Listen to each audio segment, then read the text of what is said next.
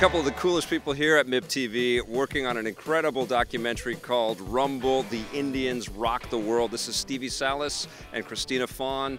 And uh, I've seen the trailer. I haven't seen the documentary yet, but I saw the premise and the whole reason why this thing needed to exist. Uh, tell us a little bit about how this all came together. I'm going to start with you, Stevie. Um, well, you know, I'm a Native American, and I've been kind of playing rock and roll my whole life on a pretty high level with a lot of superstars. And and uh, you know, one day I was playing, you know, as a young man with Rod Stewart at Madison Square Gardens, and I thought to myself, it's like, there's not a lot of guitar players that look like me. So I started to research if there was other, you know, Native American musicians out there. And, I, and as, the, as I dug in, I started to realize there were a lot. It's just people didn't know it. Um, and then I was uh, in Canada doing a concert opening for the Rolling Stones at this huge outdoor event with ACDC and a bunch of bands. And I met a guy called Brian Wright McLeod who was writing a Native American encyclopedia mm. about all the recorded music and history by Native American people. He was interviewing me, and he really turned me on to, you know, these guys, Jesse Ed Davis and Link Wray, and, and, and that sort of, that really got the seeds going. And from there, we created a Smithsonian exhibit about these guys. And then I met Christina, and had just made a documentary called Real Injun that dealt with uh, Native American portrayal and feature films and stereotypes and things. And I thought, oh, this, this could be a good combination. And uh, four years later, it's finally done, and somehow we're still alive, and I haven't lost my hair. we're still we're still talking to each other, barely, barely talking, but things are going well. So we, we ended up. Um, you know, having a, a, very great deadline because we got into Sundance. We didn't even think that we'd finish the film on time. Oh, wow. And then yeah, it wasn't even done. It was like Sundance said it, and then it, we, weren't even close to it being yeah. edited. But something about a, having a serious deadline like that that caused us to, the whole team to really buckle down and, and put, get it together. Otherwise, we might still be fussing over details right now. Well, and we sure. went on to win uh, in the World Documentary category the Special Jury Award for Masterful Storytelling. It was awesome. Yeah, yeah. yeah, not only did we not even think we were going to get into Sundance, yeah. you know, we, we, we, actually won, which was really, really. That's amazing. So, how did you guys meet? Were you recommended to well, each a, other? It's a funny story because, uh, of course, Facebook. Yeah. Uh, Adam, Adam, Beach, right? Yeah, we have a common friend. I did a series called Moose TV uh, with. Um, our company resolution pictures a couple of years a few few years ago anyways and he so i was just looking and we i opened up a, a gaming company um, and he had an app for a guitar a or guitar app. guitar app. And I thought, oh great, who's this guy? I'm gonna ask him. Maybe he needs uh, you know some game games or whatever. And then we started talking, and he said, yeah, but I have this. Uh, you know, I did an exhibit, and, and I said, oh, we, we do movies. And so then I sent him a bunch of our films, particularly Real Injun, and, and then he begged us to do the film with him. yeah, that's pretty much how it got. yeah, we were, we were. I mean, it, it was a great team. Like, we, you know, so Catherine Bainbridge, who's my producing partner, directed the film, and Alfonso Maiorana uh, who's done a bunch of uh, Hollywood films, was co-director and did the DOP. It was director of photography, and I mean, it was a massive film. It took you know more than over four years, and and I, I always say it as a joke because Stevie would always say, "What are we doing here, Gone with the Wind?" It's like, let's get this thing done, right? It's like Jesus Christ, like, and you know, the Canadians work a little different than Americans. Uh, you know, we uh, we would show up with like this, right? Really yeah. guerrilla and everything I do is like in and out, especially when you're shooting massive, because our film's full of superstars, right? And yeah. with a superstar, you gotta almost be invisible in a yeah. lot of ways because everybody freaks out for no reason. You 90% of the time, by the way, yeah. it's always that the handlers that are freaking out. But they, you know, with with uh, resolution, they wanted the cinematography to be over the top, which uh, in the beginning I was I was against. Um, I wanted it more guerrilla, but I was dead wrong because the cinematography, the beauty, the contrast between archival footage and the, the beauty of some of the stuff that Fawn shot, it's just, it's a great, it's a great combination. Well, you talked to some megastars in this. Even in your trailer, I think it kicks off with Martin Scorsese. I mean, yeah. you've got some amazing people in this thing. Was everybody eager to talk? Was everybody well, like right on board with this concept? A, yeah, I mean, most of the people were. It just took a long time because they're famous and busy and yeah. doing a bunch of things, and so we had to, you know, work around their schedule. So that was one of the elements that that made the film take so long. And Stevie has amazing relationships with most of the people that are in our film, so that really helped. And you know, one of the things that we wanted to do, and, and Stevie could could uh, address that too, is that you know these people are were unknown unknown native icons musicians and we wanted the the biggest and the most famous musicians in the world to say how great they were we didn't want them or, other native people to say it and well, well, the thing is is they they they are unknown to normal people, but to the most famous people in the world, they were like the, the, they, you know, Steven Tyler could could just wanted to talk about Jesse Ed Davis because he, you know, you when these people were so important. Jeff Beck would talk about Link Wray, like I'm 17 years old playing air guitar in my bedroom at my mom's house to Link Wray. I mean, to them, these people were so important, but to the general public, they're like had no idea who these people were. Stevie, did you grow up with uh, you know heroes that, on stage? That you know, my heroes were the same guys. Like Slash is, is in our film, and Slash and I are old pals. And Yeah. he said, you know, one day. You know, we all grew up playing, being guitar players. We all listened to the, the standard guys. You know, the Holy Grail, the Jimmy Page, the Jeff Beck, the Eric Clapton, the Jimi Hendrix, Yeah. uh, Pete Townshend. And then Slash said to me, you know, one day I was sitting around on tour and I wanted to figure out. I thought to myself, well, who did those guys learn from? And you know, this name Link Wray just kept coming up. You know, and then years later, when punk rock exploded in New York, there was Link Wray again. From 1958, he, he influenced, uh, you know, Led Zeppelin and the Who and all the biggest bands that we know, the Kinks, and and then you know, 20 years later, he's already you know a, an old man, but by this time he's doing, playing with Robert Gordon in New York City at Max's Kansas City, and influenced the whole punk rock movement. and then you know, you talked about Robert Rodriguez, you Yeah. know, uh, from Dust to Dawn. He's my friend in Austin, Texas.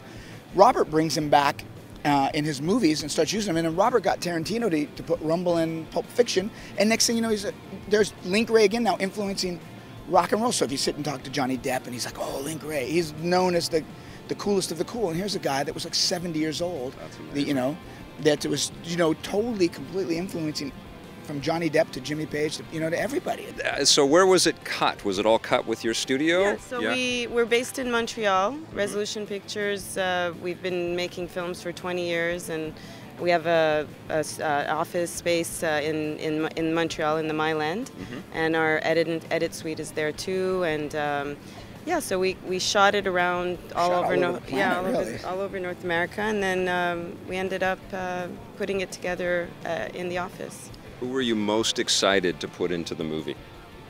I'll start with you, Stevie. I was pretty excited that Iggy Pop did the film. Yeah. um, because Iggy's just so cool.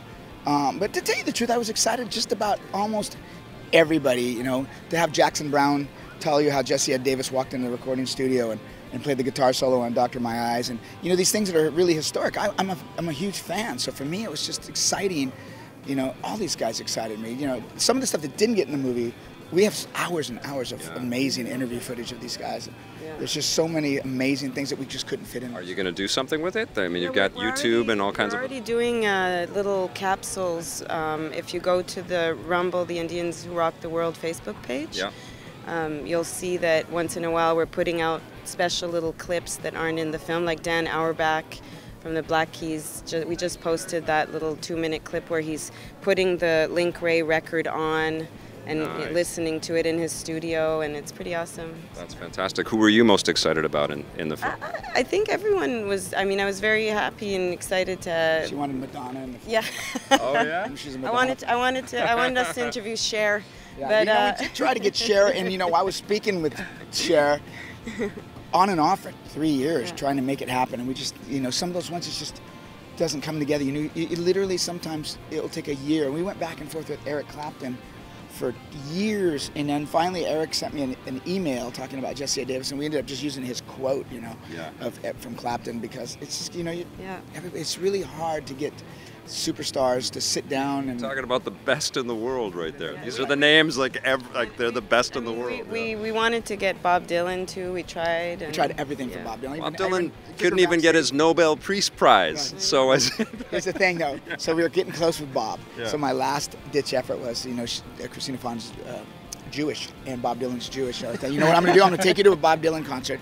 And she's His very pretty, master right? plan. She's Yeah. very pretty and she dressed really nice. And, and we're backstage talking to the band because Charlie Sexton, the guitar player, is in our film. And he's also my neighbor in Austin and my Cool. 20 years, 25 years, my buddy. So I thought, well, I'm just going to let Christina Fon all bubbly and happy walk around backstage. And I think Bob Dylan would be like, who's that? And I thought, that's our last chance of getting Bob in. Because I figured if he, if he talked to her, she could get him to do Yeah. the film. Yeah. this we is were let, this close. let's let's play spot the American No, yeah. right here, right? Exactly. Like I would cast her out with a fishing line, like a, politically incorrect.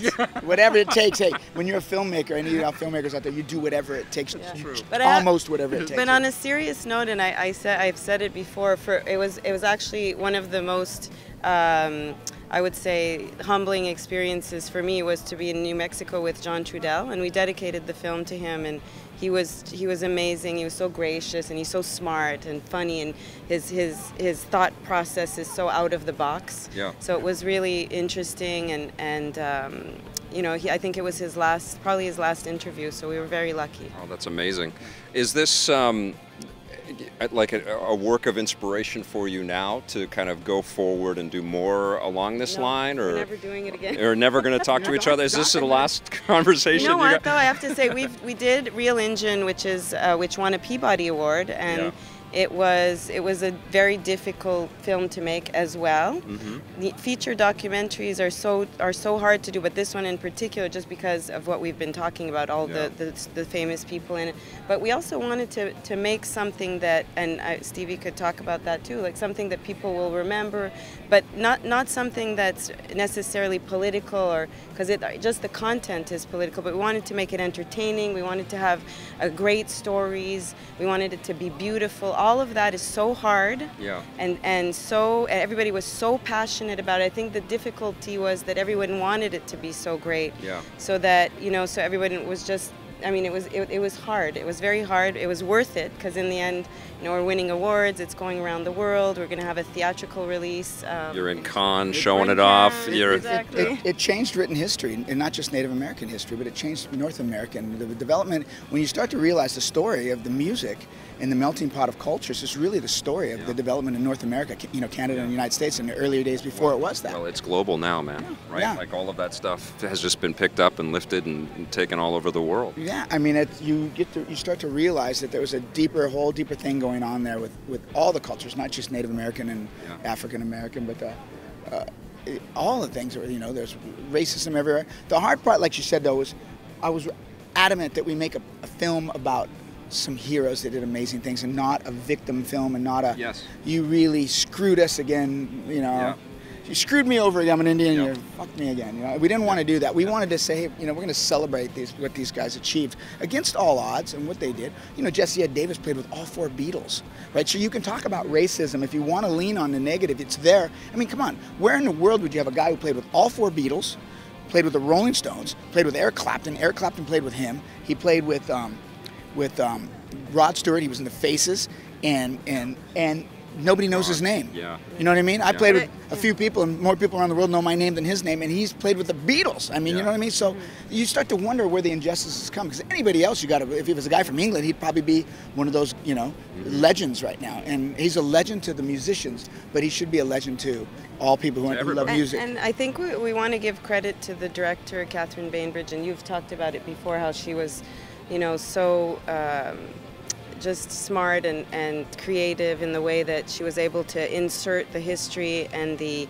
politics and keep it entertaining. And co-director, again, Alfonso Mayron, I just want to give credit to that. You them. gotta always do the mega credits because in Canada they're so sensitive they all get pissed off at each other. In America we're like, who cares?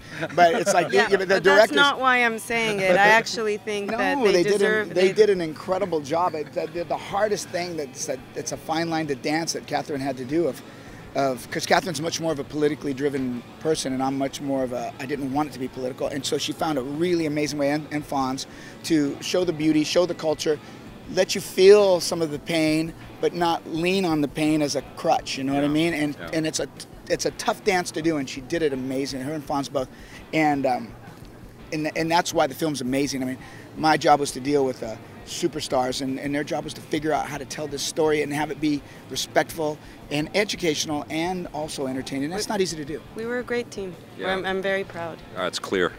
It's really clear. When when do we get to watch this thing? I can't wait to so see it. what's going on is uh, we're doing festivals for about eight eight months, um, maybe probably a year, and then in the in July, um, I can't say actually, but it's going to be uh, we're going to have a theatrical release. Yeah. Um, July this year. Yeah, this July in New York and LA. We're going to try to hopefully get an Oscar qualification.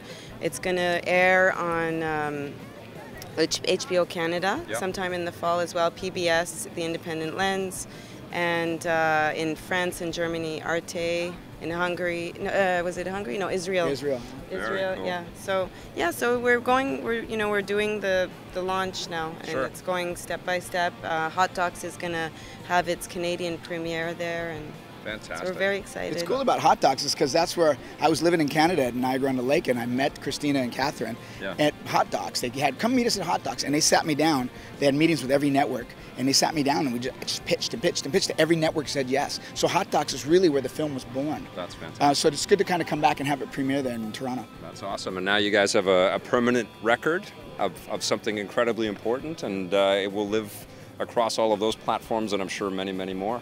It's so wonderful to meet you. Nice to meet you. Yeah, and Thank you very congratulations. I can't wait to see this movie. It's called Rumble the Indians That Rock the World. much.